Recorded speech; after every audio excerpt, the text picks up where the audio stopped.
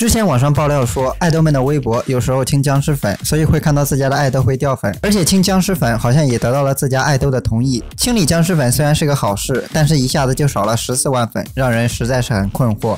有的粉丝很是不解评论道这叫是什么操作呀？昨天看到的是五三三九真心服了。大家对于这件事还是耿耿于怀。大家对于清僵尸粉这件事其实不必过于担心因为易烊千玺的国民度非常的高所以大家不用在意这些多关注易烊千玺的舞台。